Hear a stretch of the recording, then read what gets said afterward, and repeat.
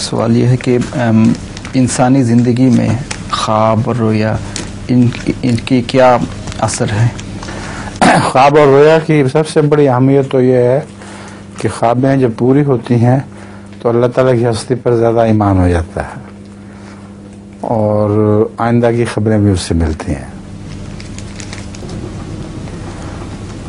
रसूल करीम वसल्लम ने आइंदा ज़माने के मुतलिक बच्चों के मतलब खुशखबरी दी थी कि उनको भी सच्ची ख्वाबें आया करेंगी।